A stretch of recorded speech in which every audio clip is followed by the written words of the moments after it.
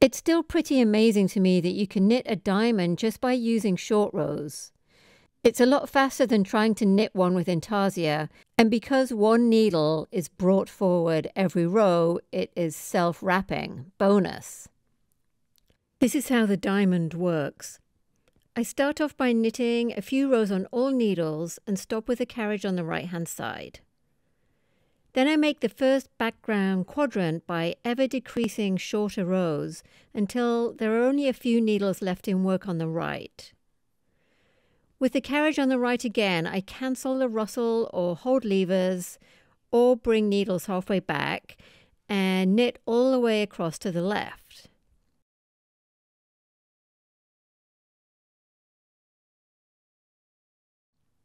Now I make the second background quadrant as a mirror image of the first one.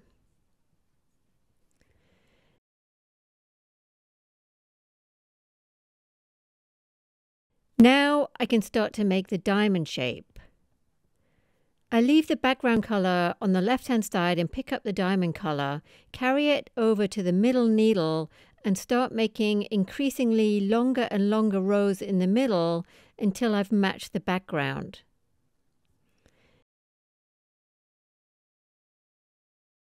At this point, half the diamond is made and the knitting is completely balanced. Now on to knit the second half of the diamond, working shorter and shorter rows until I'm just down to the centre needle again.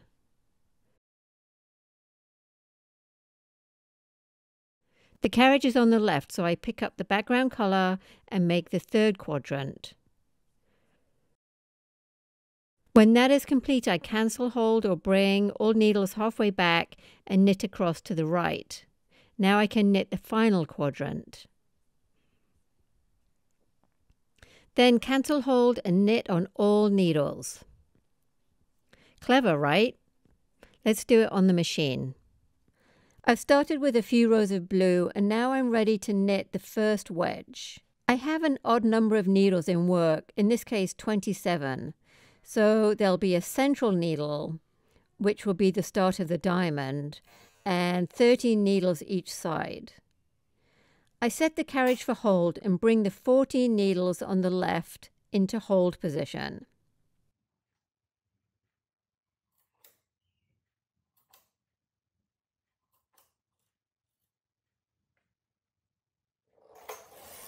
Knit one row, bring one more needle forward and knit back. I repeat this until only four needles are left in working position on the right hand side.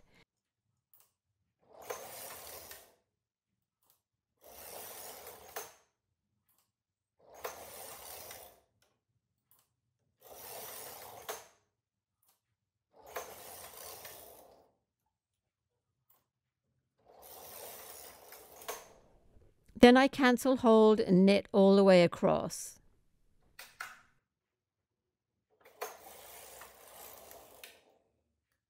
Now I bring 14 needles on the right into hold, set my Russel levers again, and mirror what I did before.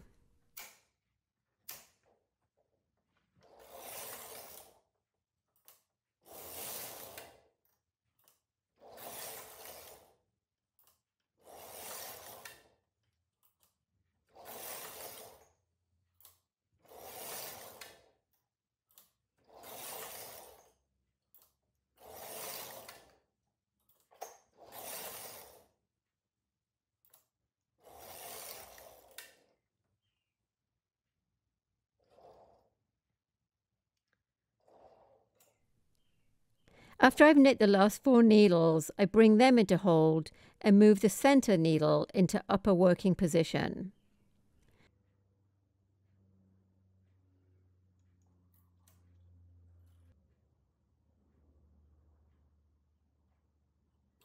I change to white and bring that yarn up over the held needles on the left and down on the left hand side of the center needle and knit across.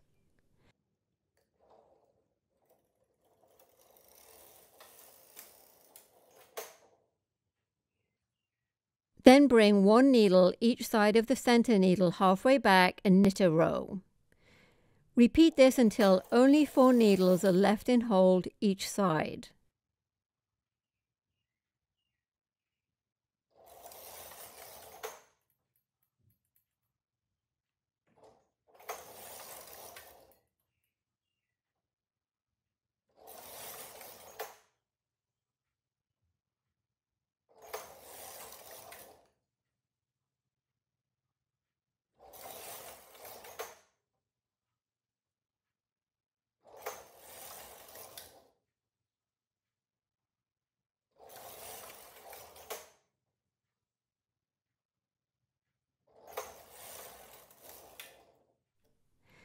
That's the first half of the diamond.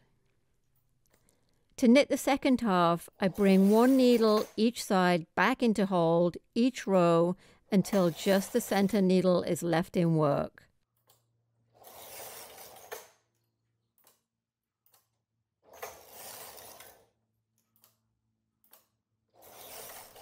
It might help to add a claw weight as the diamond's growing.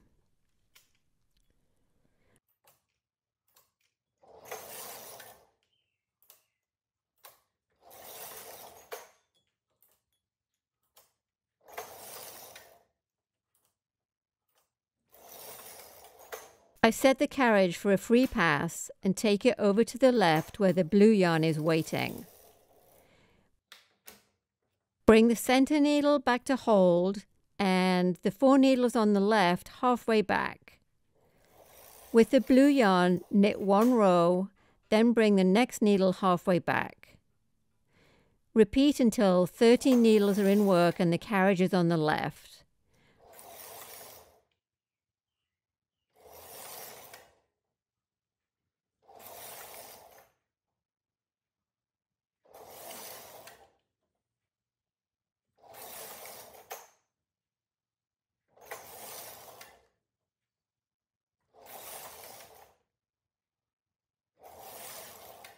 I brought another needle halfway back, but I didn't need to because now I cancel hold and knit across all needles.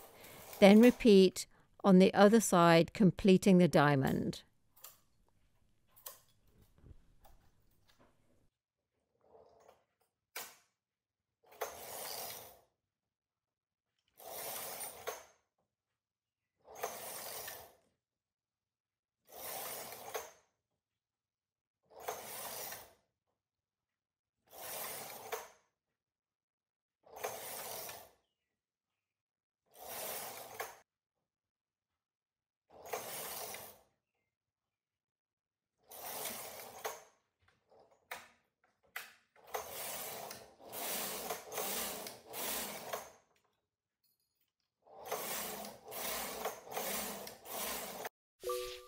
Hello again.